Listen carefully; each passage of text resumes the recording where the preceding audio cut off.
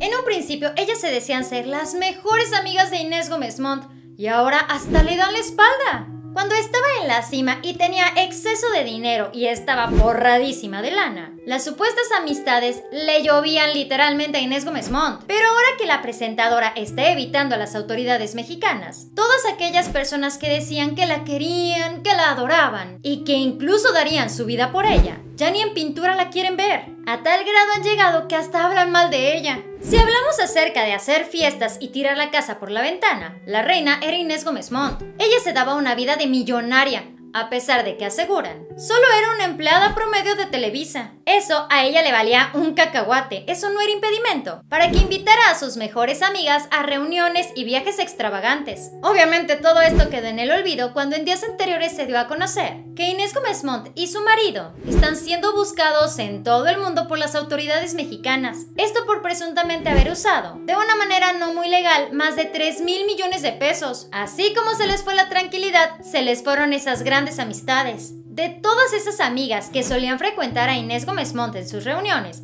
únicamente Galilea Montijo, conductora de hoy, ha salido a dar la cara por su comadre. Galilea la sigue apoyando al 100%, a pesar de que Inés ya es oficialmente evasora de la justicia ante todos los señalamientos. De una manera un poquito más discreta, otras personas, como Maggie Geggy, Angie Tadei y hasta Andrea Legarreta, han mostrado aunque sea un poquito de solidaridad con Gómez Montt. Ellas le han manifestado un supuesto apoyo a través de redes sociales, porque ellas tal cual no se quieren meter en este contratiempo, porque al día de hoy Inés Gómez Montt anda quién sabe en dónde. Ahorita las amistades de la exconductora de televisión se cuentan con los dedos de las manos. Incluso se ha dado a conocer de otras famosas que no quieren que ni mencionen el nombre de Inés cerca de ellas. De plano no se quieren involucrar. Ellas estaban bien puestas para las pachangas, pero ahorita se hacen de la vista gorda. Entre esas olvidadizas podemos encontrar a Chantal Andere. Ella se decía que prácticamente era la hermana de Gómez Montt. Ahorita ni siquiera un mensajito le ha mandado. En la misma situación está la tesorito Laura León. Ella casi casi decía que era la madre postiza de Gómez Montt. Y ahorita podemos decir que la dejó en adopción. Ni siquiera le contesta las llamadas, tal y como lo está haciendo Yadira Carrillo. Se dice que al ver que Inés ya no le es de utilidad, mejor decidió cortar esa relación por lo sano.